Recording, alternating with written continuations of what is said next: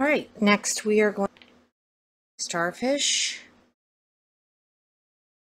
And this is Fimo Pearl.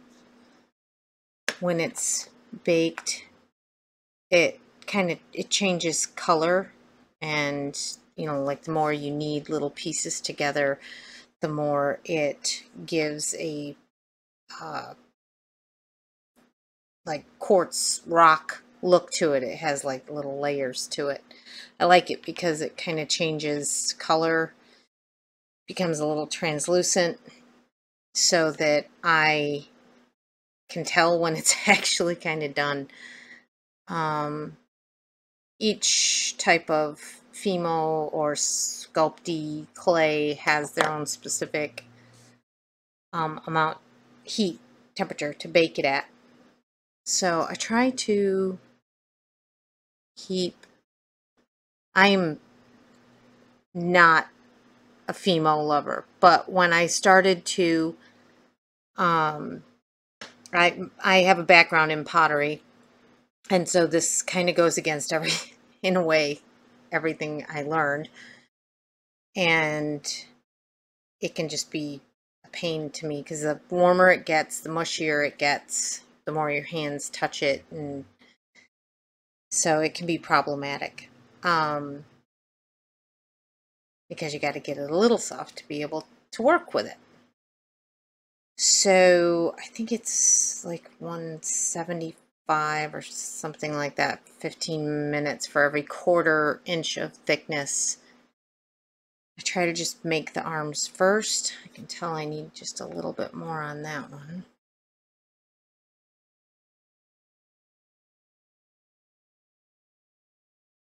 And it just affords you the ability to um,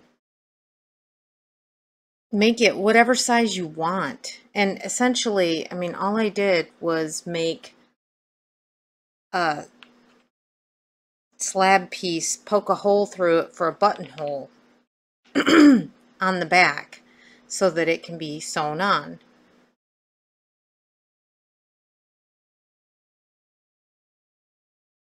Okay. And then I just kind of stick them all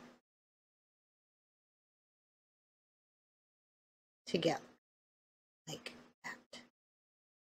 Okay, and then you just kind of pinch and close all your gaps. and Pick it up. Okay.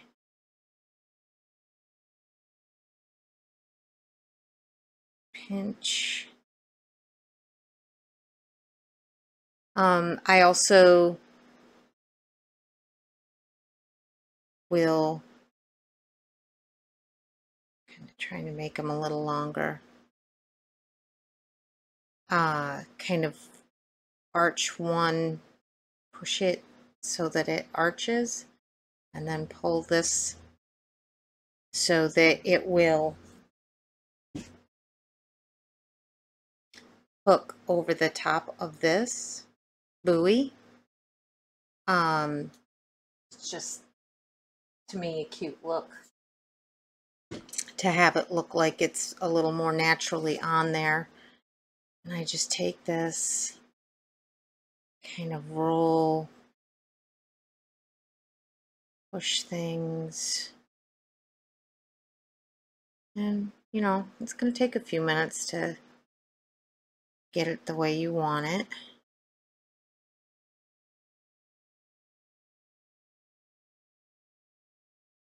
Um, I don't, I don't really worry about kind of the smoothness of it or how pristine it is because I'm not leaving it like this. Um, I definitely try to get all the seams pinched together, like on the back here. I'm going to pull, I want it all to kind of meld together, okay? Dog hair or something stuck in it.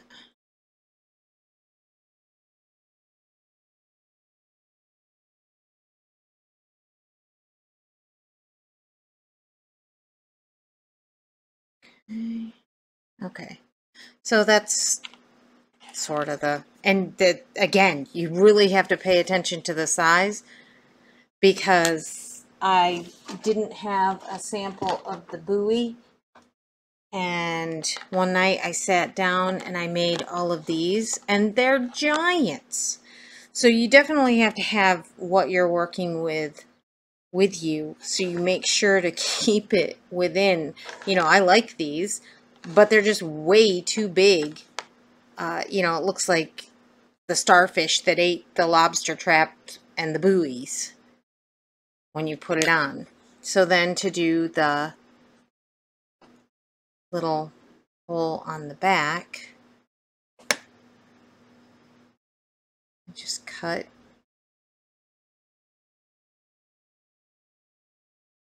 piece off like so. Flip it over. If it starts getting too warm and mushy, um, just don't touch it for a few minutes. Walk away from it. Come back to it. Okay. Trying to make it skinnier. Okay. That stick it on there like that.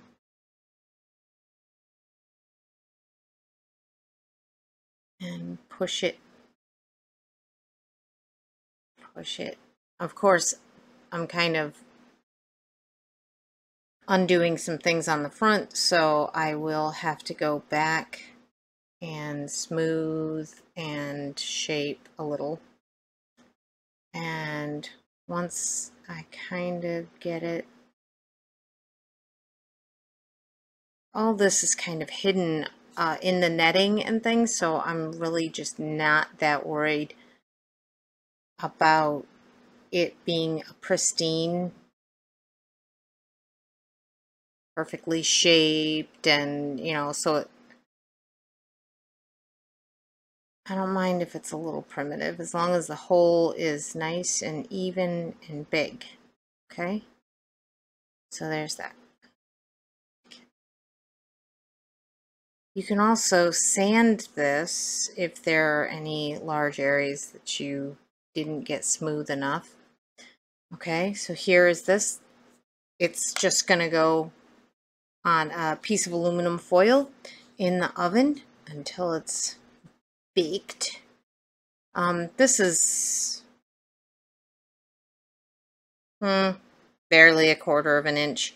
So um, it's only 15 minutes. Make sure to set your timer uh, because it will become brittle and break if you overbake it.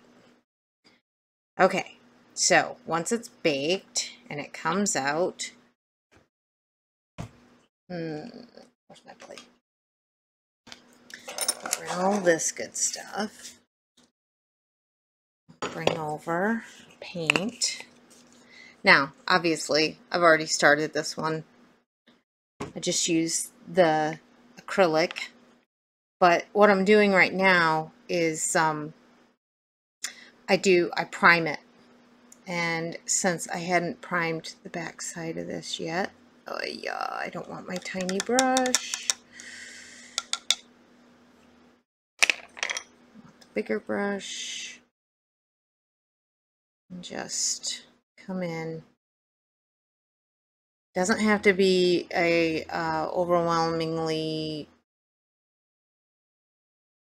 beautiful coat of white. Um,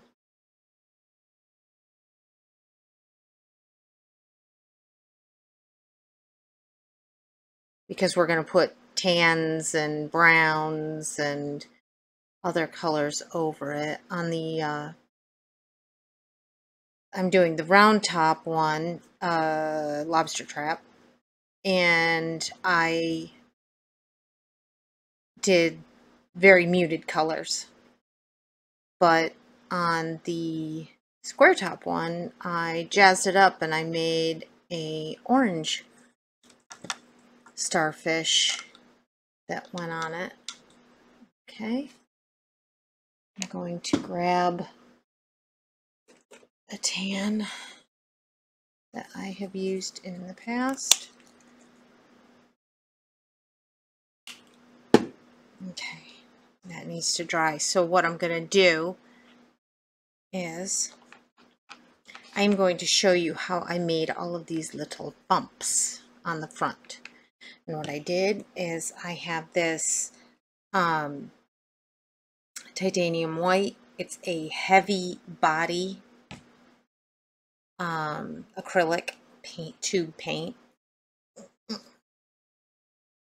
And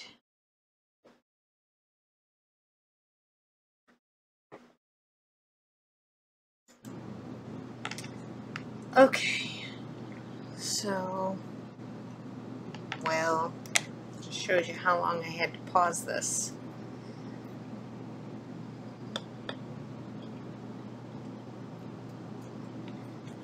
So to get texture on these, I take heavy body, which can be a little too heavy, and I mix it with just a skosh of the regular. So it thins it just a little, which you'd think medium would be okay, but it doesn't. The medium body kind that you can buy. And then all you do is get a big dollop on there and go boop. And let's see, can we get, yeah, you can see that. And it's leaving little dots.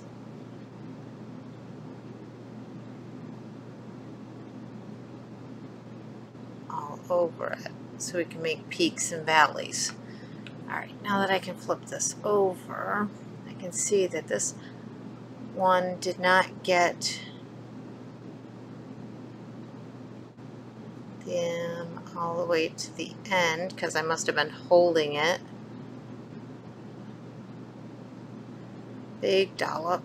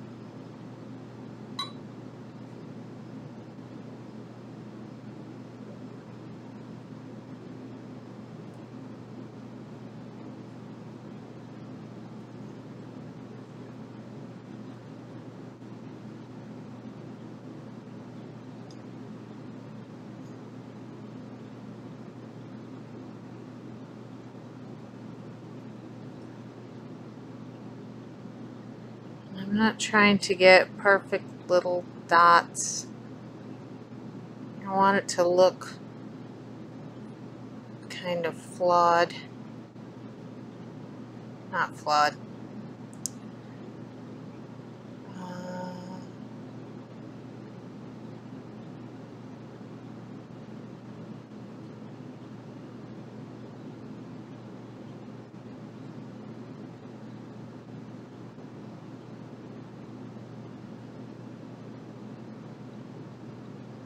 Symmetrical, non-symmetrical dots.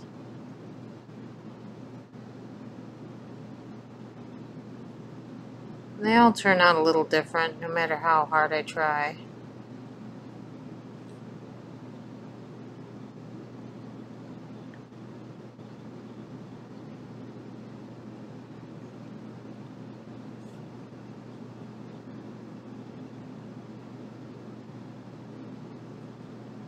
Okay.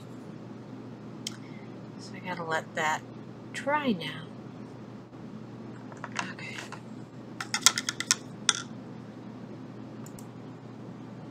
Alright, we're um, that's a very gloss heavy coat paint and I'm going to take the darker and kind of put it around the bottom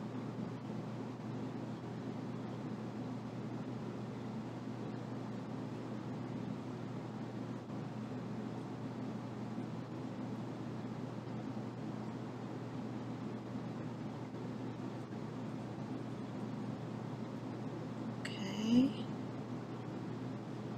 I'm going to take the lighter, put a little up here.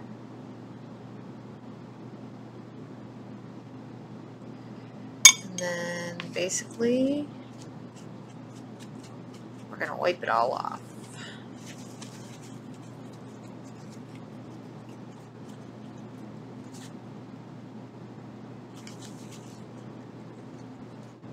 Yeah. Ooh.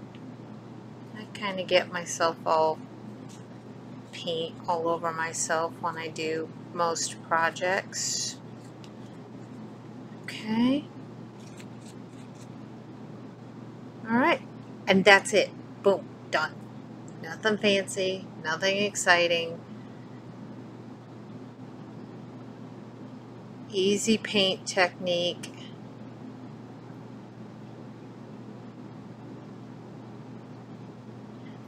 If you want more depth to it, you can do another layer of color. You can, whatever you want to do. Just kind of wipe some of that off. So, still has that mottled look to it.